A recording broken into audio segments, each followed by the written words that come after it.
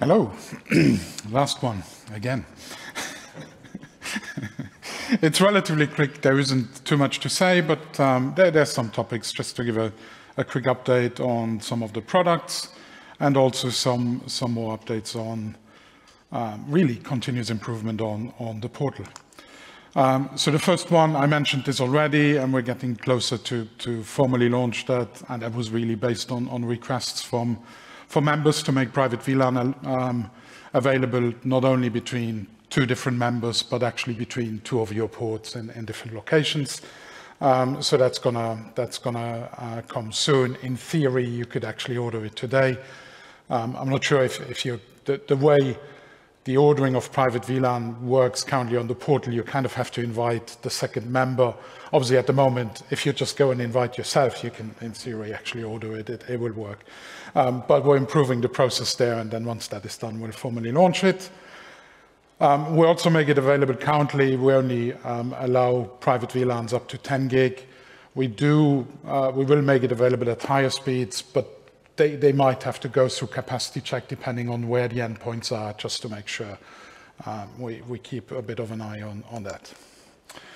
Um, the other one, uh, and it's really a little bit more of a catch-up with many other IXPs, it's, it's adding um, the um, capability of using route servers um, to do remote triggered black hole, um, very much the same way it is done as a standard on, on many um, Internet Exchange route servers, you, you by tagging uh, slash 32 with a, with a specific community, um, that will change the, the next hop. Obviously, uh, we know there's some limitations to, to what that can bring you, but especially with large um, denial of service attacks, it can still add some value, but it obviously requires that people using um, the route servers will actually accept those slash 32. So we know that there's limited benefits, but it gets um, it gets asked on a regular basis, um, so we'll, we'll implement it, make it available um, on, on all of the peering LANs.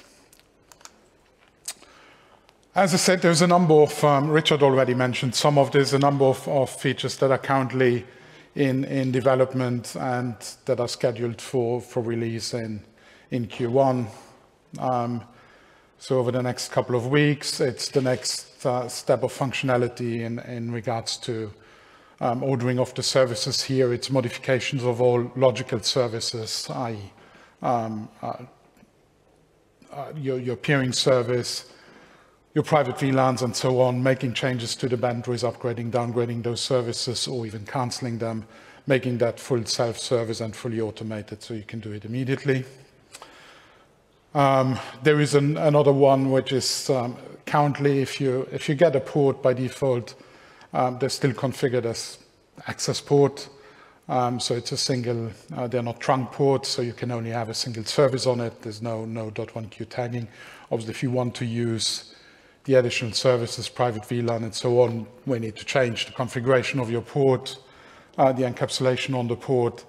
Currently, that's just a process that you do together with the NOC. This feature is going to allow you to do that um, through the portal yourself. Portal is going to guide you um, through it, give you the information, and then basically, since you obviously need to make the change at your end at the same time as we make the change at our end, so the portal will um, will kind of assist you in, in doing that work, um, tell you, well, once you're ready at your end, um, click continue here and we'll change the configuration at our end. So keep the interruption as short as possible and you can do it at the time that works best for you. Um, and the other one is, is, work that's happening around IXAPI, making, uh, making Cloud Connect service and the map service available um, for ordering through IXAPI. So all of these are, are currently in, in, in progress and um, all scheduled to be released in, in Q1, so over the next couple of weeks.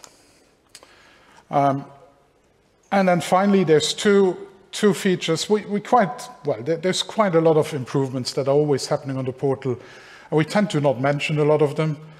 Um, so I picked two of them of changes that, that were done. I think you all remembered when we moved to the count version of our portal, a lot of the functionality initially remained on what we now call legacy portals. So uh, as, as we go through all of these features and bring them onto um, the count portal, we obviously also see, well, are there any improvements we can do at the same time and not just one-to-one -one port them over. So the two that I picked out um, for today's session is um, the uh, uh, member list, list by IPASN, as it's called. Um, so that one has been brought over to the same style um, that, that all the other functionality has, a little bit improved on the usability. You can quite easily filter it by peering LAN. You might remember before you had a whole row of checkboxes where you needed to, to pick them. Um, you can filter them. Um, you, you, can, uh, you can also still um, decide well, which, are, which is the information that I'm actually care about, that I actually want to see, and, and change the, the table of, um, of all that information. And you can still continue to export them as a CSV file um, if you want to import them into, into your systems. And kind of runs in parallel, of course. We know that there's a number of uh, members which uh, are simply using the, the members.json file, the Euro-IX formatted um, JSON file. But for those who prefer a web interface, um, that's this one. The second one is um, the uh, list of maintenances. Obviously, you all get them by email to the different um, ops announced mailing lists, but they're all always available on the portal as soon as they get announced until they're closed, and actually they never disappear, they always stay there. And that's true for maintenances and outages. Um, so that, um, that functionality has been improved quite, quite a bit in, over the, when we moved it over. Uh, importantly, you can now limit it to only uh, show you maintenances and outage that actually affected directly your services, i.e. if it was on a router where your ports are, um, or if it's the route server and you're using the route server. Um, so you can limit it, then reduce the number. And um, you can change the type between maintenance and outage or both of them, all of them. And of course, you can see the details. And that's all that I had for today, quick and short. Any questions to any of it? Ivan.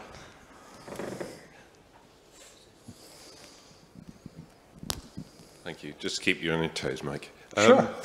uh, you mentioned about the um, remote trigger black holing. Yeah. Um, and uh, slash 32 route. Out of curiosity, do you offer that for IPv6? It would be it would be for, for, for both v6 and, and v4. Thank you. Thank you. Any last questions before Mike leaves the stage? okay. Thank you, Mike.